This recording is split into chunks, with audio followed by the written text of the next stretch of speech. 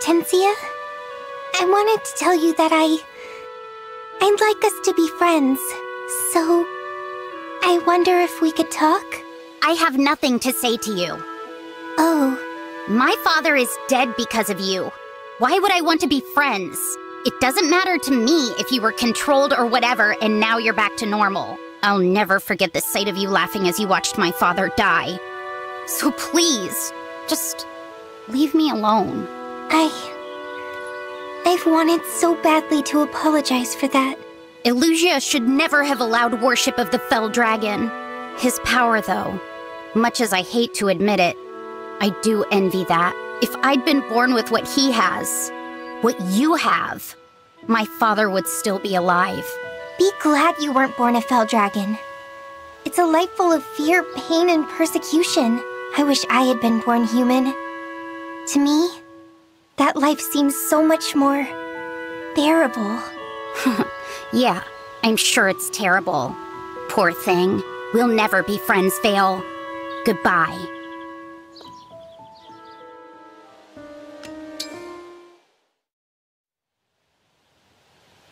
Ugh. Um, Hortensia? I'm not sure I can be any clearer about how little I want to see or talk to you. Please, let me say one more thing. There's a story I want to tell you. It's about my mother. You see, she was just a regular dragon, but she was also the Fell Dragon's mate. Humans hated her for it, and persecuted her. She died.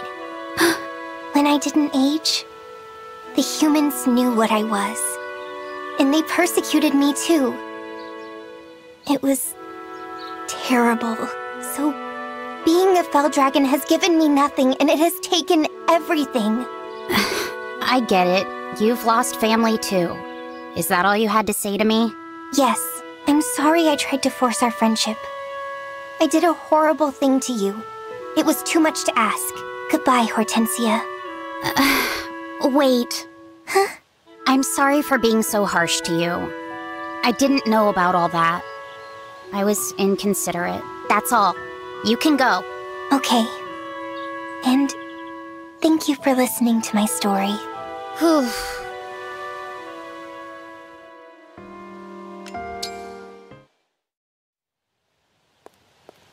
Lady Veyle, can we talk? Oh, Hortensia. Yes, of course. I have something to say to you now. Please. It was ignorant of me to judge you without even trying to get to know you. It's easy to reject someone out of hand that way. But that doesn't make it right. So, I've decided. I would like to try being friends. You would?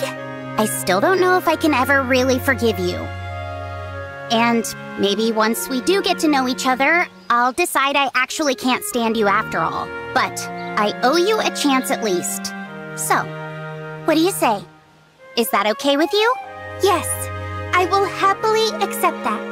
Good. Then, as a token of our friendship, please accept these sweets. These are your favorites, right? Oh. Um...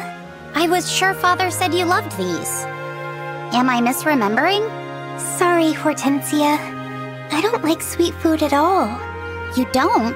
The other me might have liked sweets, but the real me loves spicy food. Oh, wow.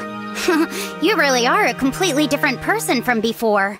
Okay, I'll treat you to something spicy next time. I... I'd love that. In return, I'll ask you to tell me everything you can about yourself. I want to know so much about the real you that I don't ever think about the other one. That sounds wonderful. And you have to tell me about yourself too. I want to know everything. Yeah, I think if we can understand each other, this wound of mine might actually heal. So, let's get to healing, Lady Veyle.